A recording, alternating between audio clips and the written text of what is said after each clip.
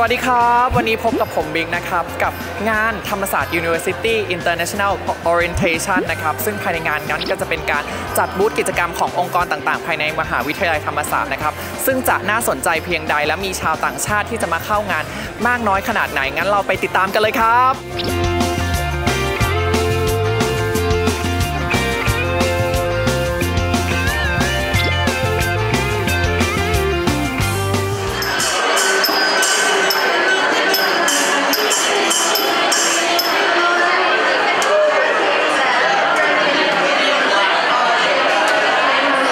นนี้นะครับบิ๊กก็อยู่กับนักศึกษาชาวต่างชาติท่านหนึ่งครับโหยเขาท่าทางจะมีความสนใจเกี่ยวกับวัฒนธรรมไทยเป็นอย่างมาก เพราะฉะนั้นเดี๋ยวเราไปสอบถามเขากันดีกว่าว่าเขามีความรู้สึกอย่างไรบ้างกับเทศกาลงานนี้ครับ uh, excuse me how do you feel about this uh, project today Oh, it's wonderful. I think it's really cool for international students to be welcomed in by the local students here.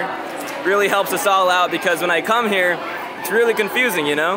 ครับเขาก็บอกว่าเขาเนี่ยมีความสุขมากเลยตอนแรกเหมือนแบบมาร่วมงานครั้งแรกรู้สึกแบบตกใจตื่นเต้นนิดหน่อยรู้สึกแบบสับสนอะไรเงี้ยแต่ตอนนี้ก็รู้สึกว่าแบบเหมือนสามารถปรับตัวเข้าได้แบบทุกคนนั้นเป็นมิตรมากเลยครับ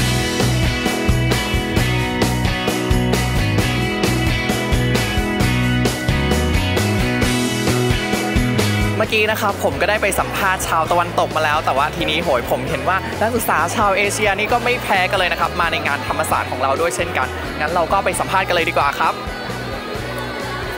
Excuse me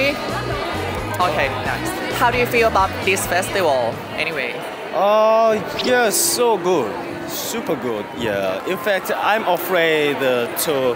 come here cause it's first time to they give a good feelings. Yeah, it's เขา okay. So, เขาบอกว่าโหยประเทศไทยก็ได้การอย่างคนไทยที่มาในงานนี้ก็ให้การต้อนรับเขาอย่างดีมาก ๆ เลย เราก็รู้สึกอบอุ่นมาก ๆ เลยครับไงก็โอเค thank you very much for your time ขอบคุณคครัรับบขอบคุณครับ หลังจากที่เราได้ไปสัมภาษณ์นักศึกษาที่มาจากชาติตะวันตก แล้วก็ฝั่งเอเชียกันไปแล้วนะครับ ตอนนี้เราก็ไปสัมภาษณ์นักศึกษาที่มาจากประเทศไทยกันบ้างดีกว่าว่า เขารู้สึกยังไงกับงานนี้บ้างครับ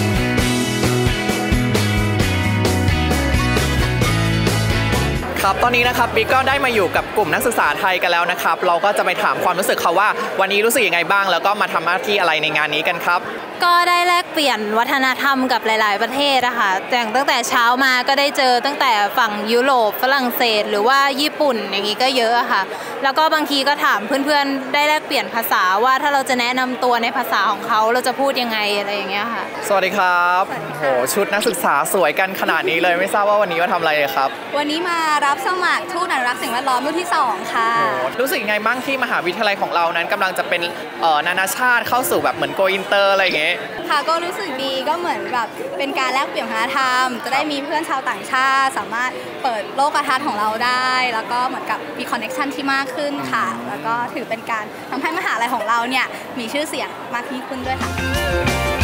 ทั้งหมดนี้ก็เป็นภาพกิจกรรมในครั้งนี้นะครับ ซึ่งจะเห็นได้ว่ามหาวิทยาลัยธรรมศาสตร์นั้นได้เข้าสู่มหาวิทยาลัยนานาชาติเรียบร้อยแล้วสำหรับกิจกรรมในครั้งต่อไปจะเป็นกิจกรรมอะไร ติดตามได้ที่นี่ที่เดียวเท่านั้นนะครับสำหรับวันนี้ผมบิ๊กก็ต้องขอตัวลาไปก่อนแล้วพบกันใหม่โอกาสหน้าสำหรับวันนี้ สวัสดีครับ